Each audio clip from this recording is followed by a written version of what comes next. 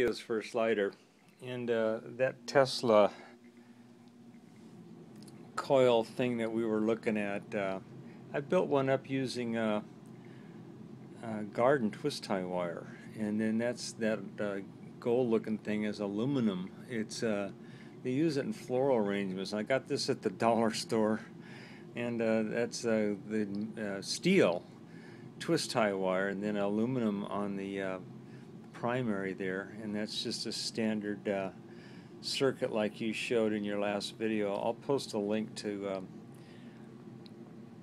Slayer's uh, stuff and Slider's stuff and Slider's the one that uh, decided to go with the Tesla arrangement there. This is not a pancake coil obviously but this kind of looks like it. So anyway um, this is Dr. Stiffler's loop lighting up off the battery. Then over here this is something that uh, maybe a TK, Tinsel Koala, and uh, Tin Man, Tin Man might be interested in.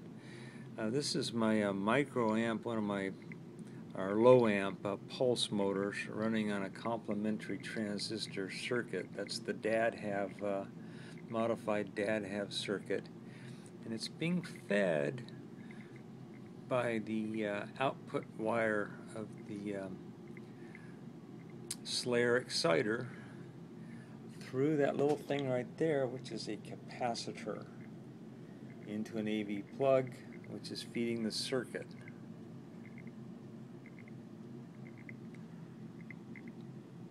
Anyway, I thought you guys might be interested in that. And um, Slider, thanks for um, showing that you could build one of these Tesla coil type things using a Slayer exciter circuit. It works great.